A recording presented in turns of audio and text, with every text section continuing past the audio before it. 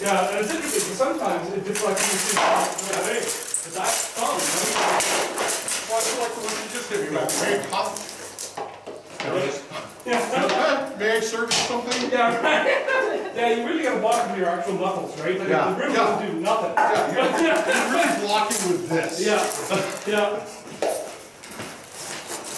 The one that I keep doing is I'll do the hanging block and I'll smack myself in the elbow with the picnic, right? Yeah.